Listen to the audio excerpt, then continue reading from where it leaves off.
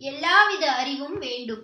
புத்தி மனஸ் இவற்றை நன்றாக உபயோகித்து இவை தம்மை தாமே நன்றாக சாணையில் தீட்டுகிறது போல தீக்ஷண்யமாகும்படி பண்ணிக்கொள்வது சத்திய தத்துவத்தை கண்டுபிடிப்பதற்கு ரொம்பவும் பிரயோஜனப்படும்.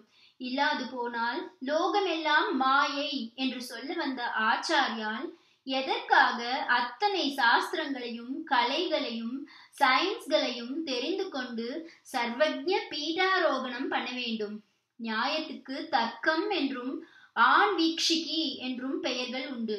இந்த ஆண் வீக்ஷிகியான நியாயத்தையும் கபில மகர்ஷி ஸ்தாபித்தால் காபிலம் எனப்படும் சாங்கியத்தையும் பதஞ்சலியின் பெயரால் பாதஞ்சலம் எனப்படும் யோக சாஸ்திரத்தையும் குமாரில பட்டரின் பாட்ட மதமான மீமாம்சையையும் நம் ஆச்சாரியால் கரைத்து குடித்திருக்கிறார் என்று சங்கர விஜயங்களில் ஒன்றில் ஒரு ஸ்லோகம் இருக்கிறது.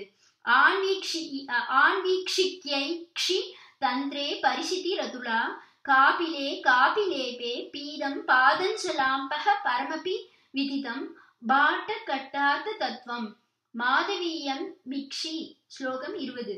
அத்வைத்தத்தை சொல்லாத சாஸ்திரங்களும் அத்வைத்தத்தில் அடங்குகிறவைதான்.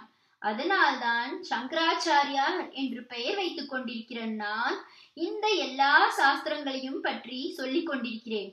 துவைத்தம் விசிஷ்டாத்வைத்தம் சைவம் வைஷ்ணவம் இவற்றில் எல்லாவற்றையும் தனக்குள்ளே வைத்துக் கொண்டிருப்பது அத்வைத்தம். மற்றவை இதை திட்டினாலும் அவற்றையும் இது தனக்குள்ளே இடம் கொடுத்து வைத்துக் கொண்டிருக்கிறது.